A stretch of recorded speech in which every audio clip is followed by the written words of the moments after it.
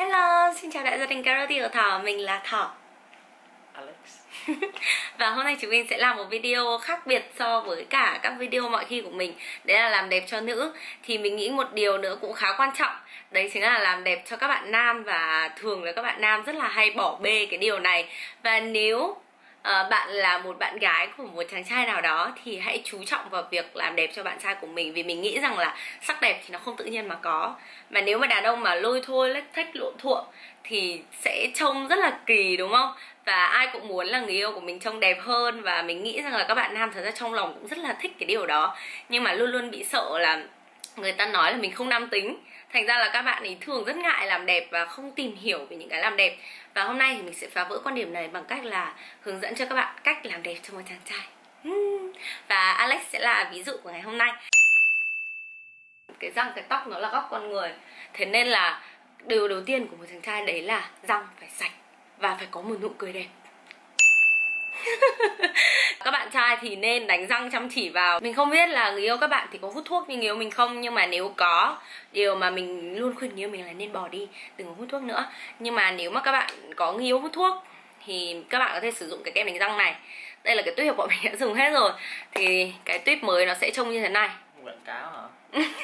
Không có quảng cáo. Cái này là kem đánh răng của đức và cái mà mình thích ở nó đấy là nó giúp bọn mình trị được hôi miệng. Đúng rồi. Khi mà bạn sử dụng cái kem đánh răng này thì buổi sáng khi mà bạn ngủ dậy sẽ không bao giờ có mồm ở trong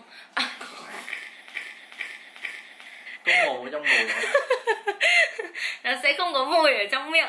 Và nó rất là thơm miệng và cũng như là nó rất là sạch cái vi khuẩn trong miệng đặc biệt là dành cho những bạn hút thuốc mồm hôi.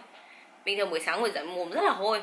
Nhưng mà nhưng mà rồi kem đánh răng này thì cái cái mùi trong miệng không còn nữa. Đấy là mình rất là khuyên dùng cho những bạn mà hút thuốc lá thì nên sử dụng kem đánh răng này. Ngoài ra thì nó cũng sẽ giúp trắng sáng răng của mình nữa. Nếu mà răng bạn bị ố do hút thuốc hoặc uống cà phê giống như mình. Các bạn nam thì đều vuốt tóc trước khi ra đường. Thật ra thì người yêu mình đang dùng cái sáp này này thì mình cũng không biết cái sáp này là cái sáp gì mua ở đâu. Người yêu mình rất là kiểu người yêu mình rất là lười làm đẹp luôn ấy. Ôi thề nếu mà không có cái bàn tay của mình vào thì không hiểu là người yêu mình ra cái nông nỗi gì nữa đây đây là cái sáp người yêu mình đang dùng. Nhưng mà nếu mà các bạn thích uh, có một mái tóc đẹp và giữ nếp tốt thì mình highly recommend cho các bạn cái loại sáp này. Tên là Rizzle hoặc là Ruzzle gì đó. Nó vuốt tóc rất là đẹp và nó giữ nếp rất là tốt. Và nó khá là mắc nó khá là mắc tầm khoảng 500 nghìn tiền Việt. Và một cái nữa mình nghĩ là các bạn nam nên có trong cái tủ đồ của mình đấy là sữa rửa mặt không thể thiếu được sữa rửa mặt mọi người ạ. Mình biết rất nhiều người, bao gồm cả sếp cũ của mình thì có cái thói quen là rửa mặt bằng nước lã. Và như thế thì không tốt một chút nào cả, tại vì là khi mà các bạn đi ngoài đường, rồi da mình bị đổ dầu, da mình sẽ tiết ra những cái bã nhờn hàng ngày. Và cái sữa rửa mặt là cái mà không thể nào mà thiếu được. Thì cái sữa rửa mặt mình đang dùng cho Alex là cái này. Cái này là sữa rửa mặt của Cariofi Em này thì nó là sữa rửa mặt dành cho da mụn và da nhạy cảm, Tại vì da của Alex thì thường có mụn và rất là sensitive, rất là dễ nổi mụn và da dầu. Chiết xuất từ rau má và nó có tác dụng kháng khuẩn, kháng viêm cho làn da cũng như là nó sẽ giúp da của chúng mình sạch hơn. Loại bỏ được bã nhờn trên da. Và với những bạn mà có làn da mụn ví dụ như nếu mình thỉnh thoảng sẽ bị nổi mấy cái cục mụn ở trên da này này. Nó sẽ làm dịu da làm dịu đi những cái mụn đang sưng tấy và đỏ ửng cũng như là bảo vệ làn da tốt hơn. Và đặc biệt là nó làm sạch da và cân bằng độ pH cho da nữa. Cái sản phẩm này thì mình và Alex đều đang dùng. Ờ, cả hai bọn mình đều dùng. Mình thì dùng rất là nhiều các loại sữa rửa mặt khác nhau tại vì mình phải test. Nhưng mà Alex thì mình đang cho dùng cái loại sản phẩm rửa mặt này. Ngoài cái này ra thì thật ra nâng cao hơn một chút. Cái này có thể là các bạn nam thường là sẽ không bao giờ sử dụng. Thì đấy là một cái bước rất là nâng cao dành cho các bạn nam là sử dụng tẩy trang. Mình thường là bắt Alex tẩy trang. Tất nhiên là các bạn nam sẽ nghĩ là có, có trang điểm đâu mà phải tẩy trang đúng không? Nhưng mà các bạn nên hiểu một điều rằng là khi mà các bạn da của chúng mình tiết ra bã nhờn và tiết ra dầu sau đó các bạn đi ngoài đường khói bụi rồi ô nhiễm môi trường nó sẽ làm bít tắc các cái lỗ chân lông của bạn và sữa rửa mặt nó sẽ không thể làm sạch hết được những cái đấy. Thì tẩy trang là một cái rất quan trọng. Cho dù bạn không make up thì các bạn cũng nên tẩy trang để cái lỗ chân lông của mình được thông thoáng và sạch hơn. Ha, mình hay bắt Alex tẩy trang nhưng Alex cũng rất là lười và hay quên ấy nhưng mà cái này là một bước rất là quan trọng mà sẽ giúp da của bạn thay đổi và đẹp hơn rất là nhiều. Các bạn nên thử xem, nhất là những bạn mà có làn da mụn. Một sản phẩm tiếp theo, cái này thì có thể là các bạn nam rất là ít khi sử dụng, hoặc là coi như là không cần phải sử dụng luôn. Nhưng mà mình nghĩ là nếu mà được thì các bạn cũng nên thử. Thì đấy là những cái em serum hoặc Ampure những cái em serum này thì mình thường dùng cho Alex là vì sao? Tại vì đây là em serum trị mụn. Đó, thì nó sẽ có tác dụng là làm giảm sưng tấy các vết mụn và điều trị các cái nốt mụn trên da của Alex. Và ngoài ra thì nó cũng sẽ cung cấp độ ẩm và làm xe khít lỗ chân lông nữa. Đây là một cái bước dưỡng da nâng cao của các bạn nam, nhưng mà mình nghĩ là các bạn nên thử nên thử xem, nếu mà các bạn không có mụn thì các bạn hoàn toàn có thể sử dụng một lớp kem dưỡng ẩm, rồi sau đó đi ngủ. Thế là xong. Mình hứa với các bạn là nó không phức tạp đến thế đâu và nó rất là dễ làm và khi mà các bạn thực hiện nó đều đặn hàng ngày theo một thời gian cố định nào đó thì các bạn sẽ thấy là làn da của mình sẽ được cải thiện hơn rất là nhiều. Ví dụ như da của Alex ngày xưa mọc rất là nhiều mụn chi chít trên trán này và xung quanh thì hay mọc nhiều mụn bọc. Nên là mình, kiểu, rất là phải chú trọng về những cái mụn của Alex thì nó mới nó mới không để lại nhiều vết thâm cũng như là sẹo ở trên mặt. Cái đấy là cái rất là cần thiết. Tiếp theo thì có lẽ là một số bạn nam thì có thể quay với việc này, nhưng mà một số bạn thì chắc là chưa bao giờ nhìn thấy cái này. Đây là cái dao cạo lông mày. Chắc hẳn các bạn đang nghĩ là tại sao đàn ông lại phải cạo lông mày, nhưng mà mình thì rất là hay cạo lông mày cho Alex, tại vì lông mày của con trai mặc dù rậm nhưng nó rất hay mọc lởm chởm và nó làm cho gương mặt của chúng mình trông nó rất là lôi thôi và lách thách ấy mọi người. Thế nên là nếu mà được thì các bạn nữ hãy học cách cạo lông mày cho người yêu của mình. Không phải tới cái mức mà vào khuôn như là mình kẻ lông mày, nhưng mà các bạn nên cạo những cái phần xung quanh này đi để cho nó trông gọn gàng và sạch sẽ hơn. Thì cái điều đấy nó cũng làm cho gương mặt của chúng mình trông nét hơn nữa. Chỉ cần một chút xíu ở phía này thôi, phía phần đuôi. Có một số bạn thì sẽ có rất là nhiều phần lông mày lởm chởm giao nhau như thế này. Mình nghĩ là cũng sẽ cạo đi để trông nó kiểu sạch sẽ và đẹp đẽ hơn ấy. Đó, mà một phần chút, đây, nó đang mọc rất là lởm chởm ở khu vực này. Mình không cần phải cạo quá nhiều đâu mọi người ạ, nhưng mà phải làm cho nó trông kiểu gọn gàng hơn ấy. Phần nào mà nó thừa ra nhiều quá hoặc là trông nó lởm chởm quá, thì mình cạo nó đi. Mình chỉ cạo một chút xíu thôi, không cần phải cạo nhiều. Miễn sao là các bạn nhìn thấy nó đủ gọn gàng thôi là được. Alex rất là thích mình cạo lông mày cho, vì Alex rất là thích có một đôi lông mày trông gọn gàng. Thì cái điều này mình nghĩ là nó là xuất phát từ cái nhu cầu cá nhân thôi và ai cũng có quyền được làm đẹp, nên các bạn đừng ngại làm đẹp cũng như là đừng ngại tìm hiểu làm đẹp mọi người nhé và trong mùa hè thì có một cái thứ mà các bạn nam sẽ không thể nào mà thiếu, thì đấy chính là lăn nách. Các bạn đã nghe câu là không gì có thể làm tình yêu xa cách, chỉ có hôi nách thì làm ngăn cách tình yêu, chưa? Thề luôn ý, tại vì là các bạn nam thường có cái tuyến mồ hôi mà nó thường dễ có mùi hơn các bạn nữ rất nhiều, đặc biệt là khi mà các bạn hoạt động thể thao ngoài trời và đổ mồ hôi, tập gym, rồi các thứ thì một cái chai lan nách này sẽ giúp đỡ các bạn rất là nhiều và tắm sạch sẽ cái vùng nách đi để tránh có cái mùi mình biết có rất nhiều bạn nam không hề ý thức được cái việc mình bị hôi nách.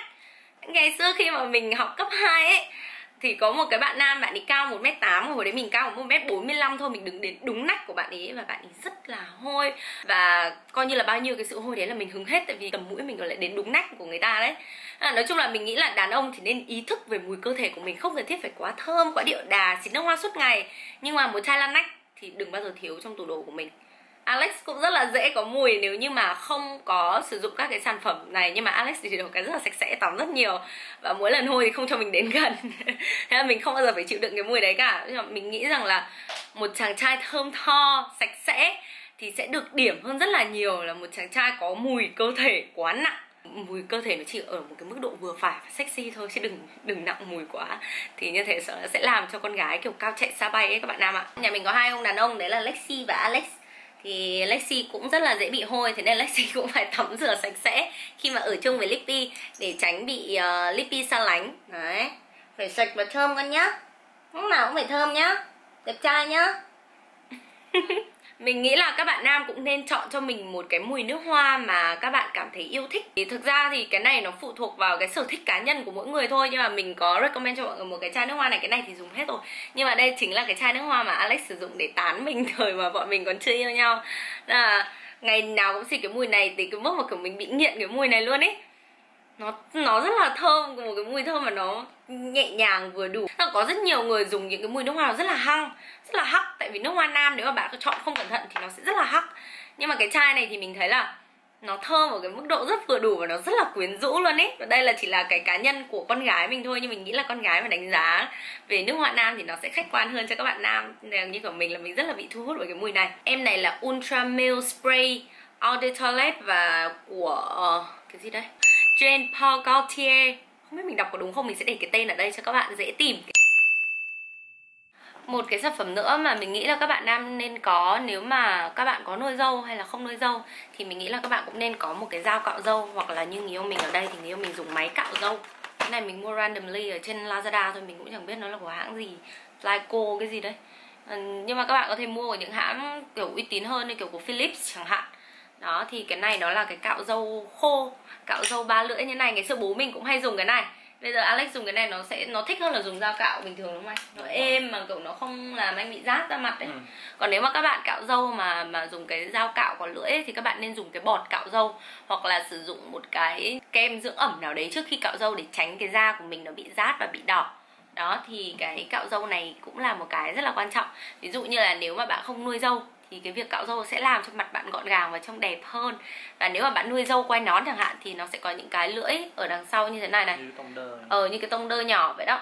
Đó thì nó sẽ nó sẽ giúp cạo các cái đường dâu quay nón của bạn vào vị trí vào nếp và trông nó gọn gàng sạch sẽ hơn. Dâu ấy cho dù nuôi mình nghĩ là cũng phải có nghệ thuật chứ nuôi dâu mà kiểu để nó xùm xoàm, xong rồi mọc lởm chởm, xong rồi chỗ có chỗ không thì trông nó rất là xấu. Thế nên là các bạn luôn phải cạo dâu. Nếu mà không không nuôi thì cạo sạch sẽ. Còn nếu mà có nuôi dâu thì hãy cạo nó vào khuôn, vào hình thật là đẹp đó mình nghĩ là cái này chắc mình cũng không cần phải hướng dẫn đâu tại vì những bạn mà nuôi dâu thì chắc các bạn cũng sẽ biết rồi.